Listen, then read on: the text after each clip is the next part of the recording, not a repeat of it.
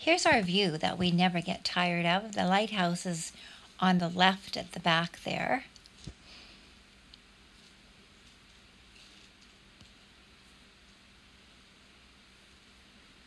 The outside of our house, all of those windows face the view.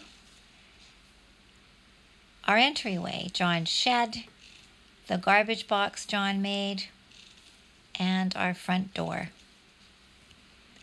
Three ceramic fish that John made are on the side. And now we're inside the house. This is our laundry room. And here's the kitchen, which also we get a view out of. Our coffee stand, John's favorite, and the pictures of our grandkids.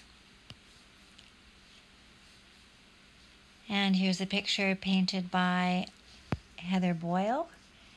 And there's a little piece of glass there on the right done by a neighbor, Marlene, in the next cove over.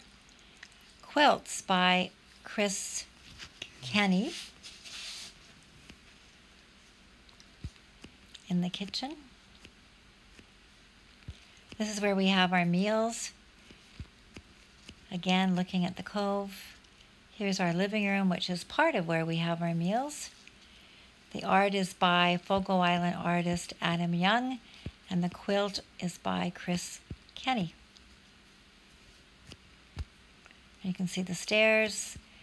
Visitor room two with two beds for two kids. The bathroom, totally renovated.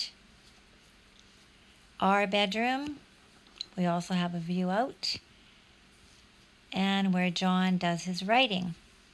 And he gets to see the cove too. And visitor room one with one bed.